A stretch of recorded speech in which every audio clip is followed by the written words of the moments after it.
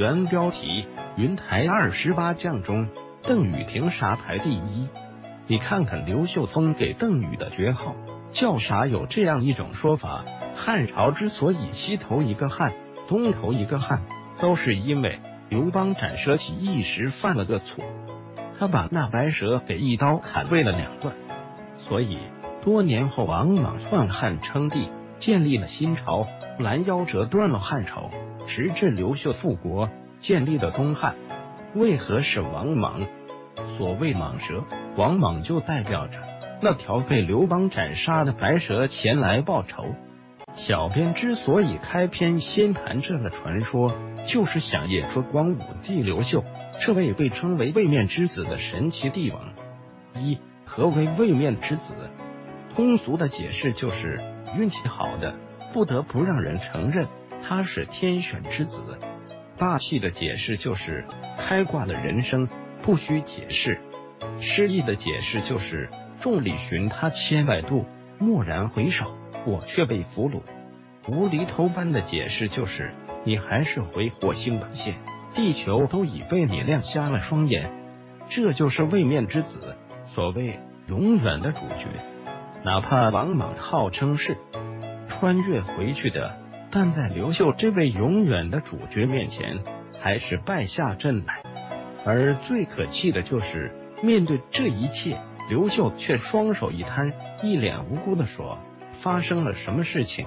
我怎么什么都不知道？”展开全文，这也是刘秀的一个特征，一直后知后觉。本来他是一位开心的农村青年，后来机缘巧合的得以深造学习。哪料学业完成后，却发出了“仕宦当作织金吾，娶妻当的阴丽华”的感慨。这跟自己的祖先刘邦一比，算没出息到家了。看人家刘邦说的是啥？大丈夫当如此秦始皇。后来王莽搞乱了天下，人们开始想念汉朝，于是便传出了这样的民谣：“刘氏当兴，李氏为辅。”可此刘氏却非刘秀。而是刘秀他哥刘演。刘秀一直生活在哥哥的光环之中，直到让人震惊的昆阳之战，刘秀带领着八千赤眉军，眼看就要被王莽的四十二万重兵碾碎时，突然天降坠石，都砸在王莽大军的脑袋上。好容易挨到天亮，却又来了大片的云彩，如山崩一样，再次砸了下来。刘秀趁机伪造书信，再乱王莽军心，跟着亲率敢死队冲击王莽大军，毫无悬念，一举突围。恐怕正是从这一刻开始，刘秀开挂的一生从此开启，位面之子由此横空出世。二云台二十八将历来，一个新朝代建立后，便总有把开国时的良臣猛将大肆表彰。以期让后世铭记的习惯，比如大唐的凌烟阁的二十四功臣，大宋的昭勋阁二十四功臣，当然还有文学作品中的西蜀五虎将、梁山五虎将、瓦岗五虎将。刘秀手下也有，且数量最多，号称云台二十八将，正好对应上了天上的二十八星宿。比如《西游记》里有个私自下界的奎木狼。抢了百花羞公主为妻，云台二十八将中对应奎木狼便是不鲁将军马武。那么云台二十八将中谁排第一？既不是如雷贯耳的耿简、冯异，也非日后杀的曹孟德、割须弃袍的马超先祖、伏波将军马援。况且马援并没进入云台二十八将之中。而是不太出名的人物，叫邓禹。邓禹早在十三岁时就认识了刘秀，并对他是一见倾心，认定了刘秀必成大器。后来听闻刘秀在河北起兵后，便不顾一切的投奔了刘秀。第一句话就是：“但愿明公威德家屋四海，禹德效其尺寸，垂功名无竹伯尔。”即我认定了你刘秀必会成大业，所以我来跟着你干，追随着你名垂青史。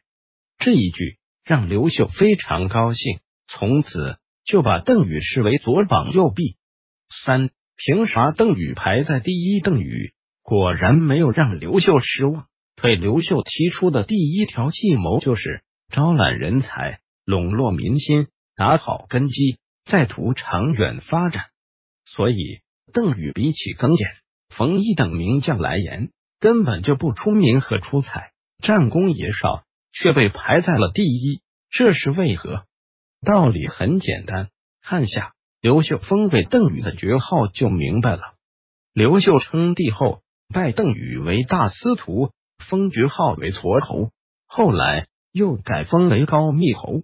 熟悉汉朝历史的人必会熟悉这个痤侯的爵号，因为号称天下第一侯，正是当年刘邦封给萧何的。这下应该都明白了邓禹的真实作用了。